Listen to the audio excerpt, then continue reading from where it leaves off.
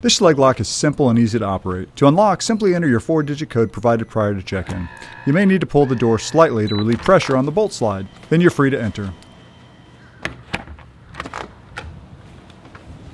To lock the door, simply press the lock button on the bottom right. Then you're good to go. Thank you for staying with Blue Swell Rentals and Real Estate.